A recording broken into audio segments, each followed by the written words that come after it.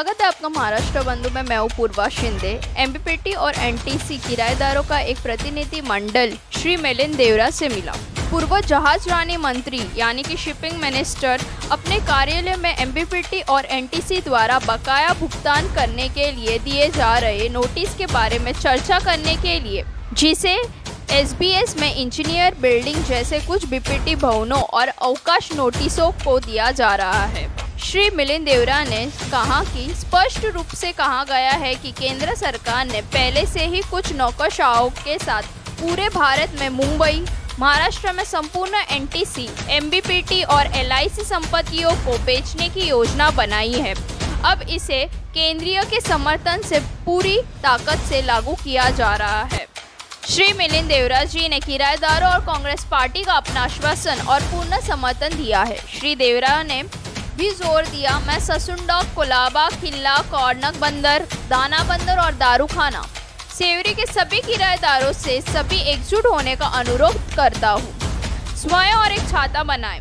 हमें राजनीतिक समर्थन के साथ उचित योजना और रणनीति के साथ आगे बढ़ना होगा। इसके अलावा श्री मिलिंद देवरा ने कहा, एमबीपीटी के खिलाफ लड़ने के लिए जो अब मुंबई पोर्ट अथॉरिटी बन गया है और भविष्य में निगम भी बन जाएगा वे हर किराएदार और भवन को बेदखल करेंगे जिनके पास लीज इशू है और बकाया राशि का भुगतान नहीं है। आज की बैठक में श्री मिलिंद देवरा ने एमबीपीटी एनटीसी और एलआईसी समूह के किराएदारों रहने वाले और वांछित सदस्यों के साथ समन्वय करने के लिए कुछ सदस्यों को नियुक्त किया है। आ, आज हमारा मीटिंग मिलिंद देवरा जी के साथ हुआ।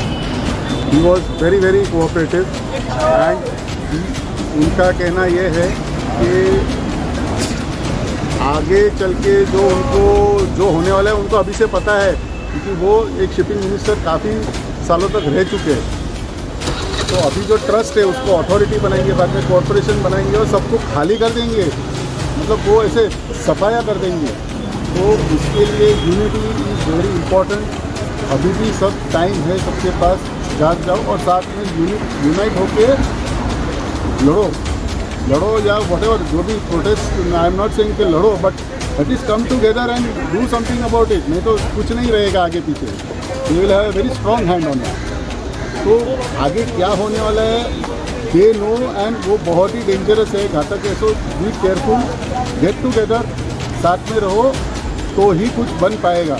नहीं तो कुछ पता नहीं चलेगा। इसका वॉज़ कभी हो जाएगा, किसी को कुछ मालूम नहीं पड़ेगा। थैंक यू आज की मीटिंग जो हमारी हुई है मिलिंद टेलर जी के साथ, उसमें हमें यही चीज़ समझ में आती है कि हमारी जो पोजीशन है वो बहुत ख़राब है। हमें इस बात का एहसास होना चाहिए कि अगर हम एक नहीं रहेंगे, अगर हम अभी नहीं जागेंगे तो आने वाला वक्त हमारे लिए बहुत ख़राब है। डी के जितने टेनेंट हैं, जितने लैंडलॉर्ड हैं, जितने लोग जब तक के इकट्ठा होकर बाहर नहीं निकलेंगे तब तक हमारी हालात बहुत ख़राब होगी। मिलिंद देवरा जी ने पूरी कोऑपरेशन देने की बात की है। उन्होंने बड़े खुल के बात की कि आप जहाँ से आपकी मदद होती है, आप ले लीजिए। कोई इसमें दिक्कत नहीं।